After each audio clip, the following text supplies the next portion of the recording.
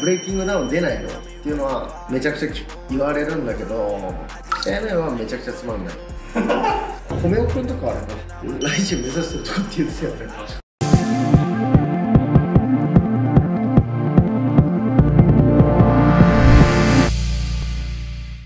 皆さん中澤潤チャンネルです。つくん先日のブレイキングダウン見ました？もちろん見ました。アウトサイダー組とブレイキングダウン組だったりとかいろんな戦いがあってまあ確かにね面白かったけどどうですか？あのブレイキングダウンを見て。いや面白いですね。